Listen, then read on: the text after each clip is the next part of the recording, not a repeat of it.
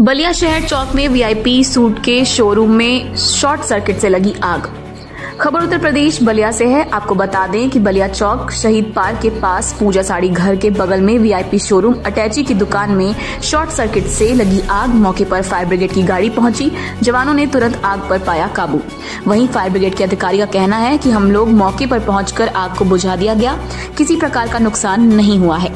वहीं देखा जाए तो दुकान का मालिक का कहना है कि करीब 10 लाख रुपए का नुकसान हुआ है। वैसे में अधिकारी का कहना है कि अब ये जाँच का विषय है। सुनिए क्या कुछ बोले फायर ब्रिगेड अधिकारी और दुकानदार मालिक।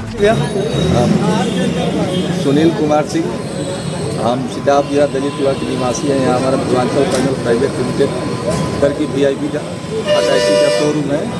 इसमें आज साठ साठ सर्किट द्वारा आग लग गया। इससे मेरा काफ़ी नुकसान हुआ है। लगभग कितने का नुकसान? हुआ लमसम दस लाख आठ दस लाख दस लाख।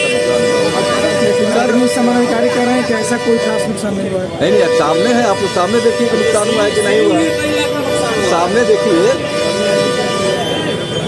सामने देखिए कितना का नुकसान हुआ। घटना लगभग कितने बजे है? घटना कितने बजे की है? घटना भी कितना देर आधा घंटा पहले लमसम इकहत्तर बजे का साढ़े सात लमसम साढ़े सात बजे के करीब की घटना है। साढ़े सात पौने आठ बजे की घटना है। भाई साहब, आग न लगी है नहीं, लगी थी। शॉर्ट सर्किट से लगी थी, अटैची वगैरह की वी आई अटैची की दुकान थी। शॉर्ट सर्किट से लगी थी, तुरंत गाड़ी ले आया, चढ़ के बुझवा करके आग को समाप्त कर दिया।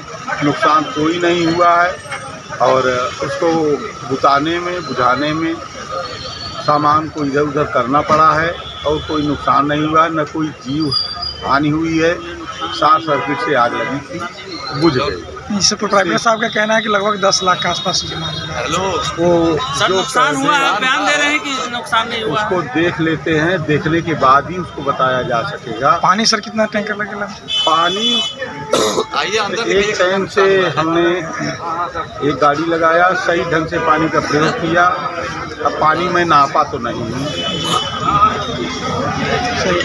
लगभग घटना कितने समय की घटना आधे घंटे पूर्व।